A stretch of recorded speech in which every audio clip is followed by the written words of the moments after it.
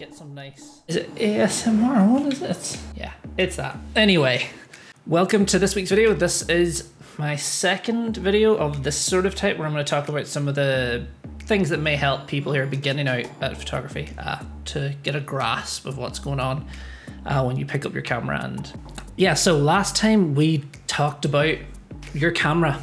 Uh, we talked about aperture, shutter speed, ISO, I think was the other um, and how those settings, you know, affected your photographs and you know what you did to do them. So this week we're going to move on to something a little bit more, um, meh. I don't know. I don't know I describe it. A little bit more, a little something that's what not everybody does consider when they pick up a camera is composition. Um, it's like in every photograph, you'll notice that the the same great photos or photos that you probably really like all tend to follow certain rules.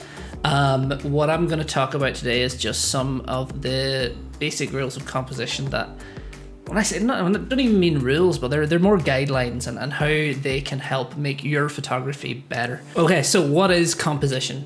Composition is the arrangement of your elements or subjects or items that are in your photograph, how to how you put those together to make one complete image. It's what you do photograph and how it relates to the other items in that photograph. There's no real rules or hard set rules that you have to follow every time. Um, some great photos don't follow any of, any of these rules, but they're great guidelines to get started with and to help you understand how to take a, a good photograph, I suppose would be the way I would put it.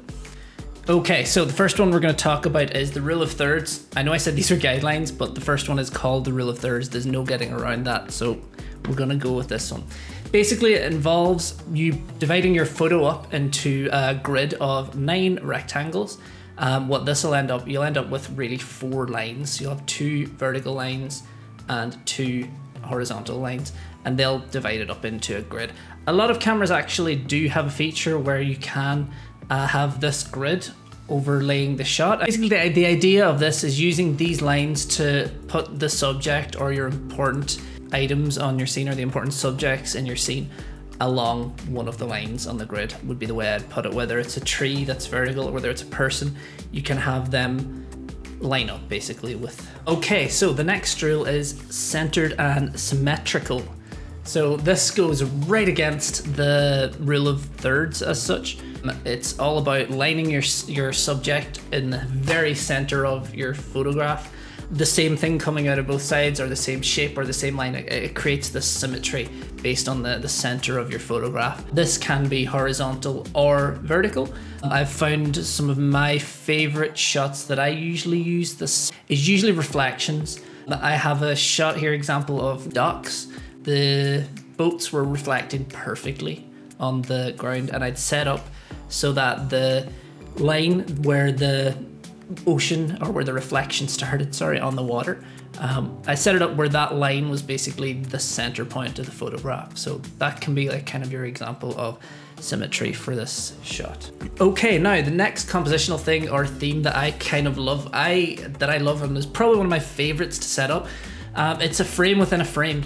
So your photograph is a frame but you, you can do, or what I've done in certain situations, is you can use an element of a building or, or, or of something around you that frames up another shot.